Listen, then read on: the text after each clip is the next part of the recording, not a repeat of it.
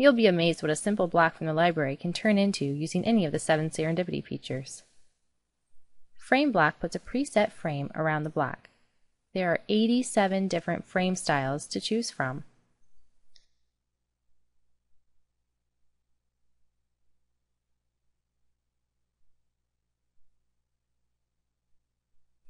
Tilt block sets the block at any angle you choose. Have fun with this one and tilt your newly tilted block over and over again.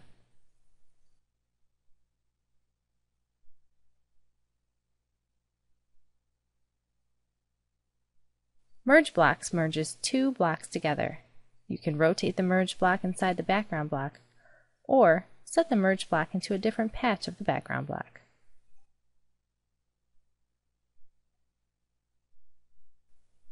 Clip and Flip takes the upper left quadrant of the block and flips it into different directions within the four quadrant block.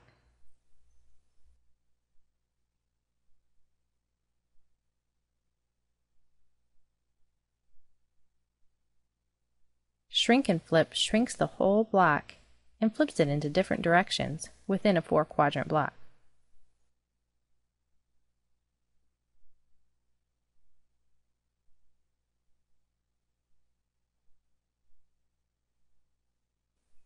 Kaleidoscope takes a section of the block and repeats it within an 8 section kaleidoscope setting.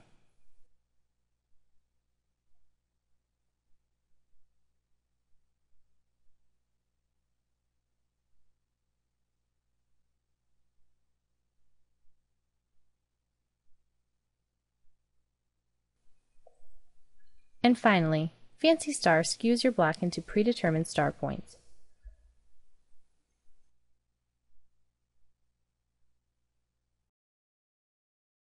Asymmetrical blocks work better for a couple of these options, but you really can use whichever blocks you want.